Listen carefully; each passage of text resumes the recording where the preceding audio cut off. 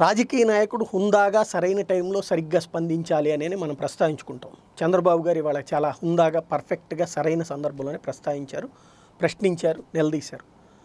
హుందాగానే వ్యవహరించారు ఇవాళ మాత్రం. అది ఏదైతే పోలవరానికి సంబంధించి కోర్టు తీర్పు రాగానే ఆ రీటెండరింగ్ మీద స్టే ఇచ్చింది. రెండో పక్కన పవర్ ప్లాంట్కి సంబంధించి ఉత్తర్వులు కూడా కొట్టేసింది.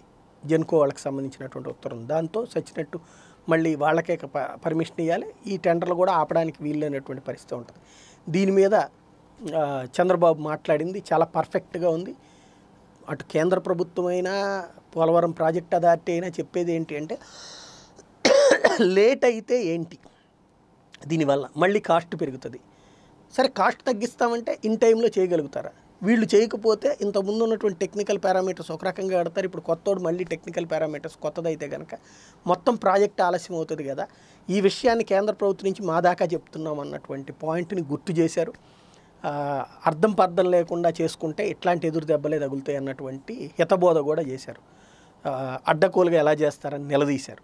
ఇప్పుడు ఖచ్చితమే పిచ్చి పిచ్చి స్టేట్మెంట్లు కాకుండా పర్ఫెక్ట్ స్టేట్మెంట్ ఇచ్చారు. ఆ విషయంలో చంద్రబాబు గారిని అభినందించాలి. ప్రతిపక్షం ప్రతిపక్ష పాత్ర పోషించాలి. అధికార పక్షం తప్పులని నిర్మాణాత్మకంగా ఎత్తి చూపెట్టి ప్రజా ప్రయోజనంగా ఉండాలి. ఇవాళ ఆయన మాట్లాడింది కూడా అదే.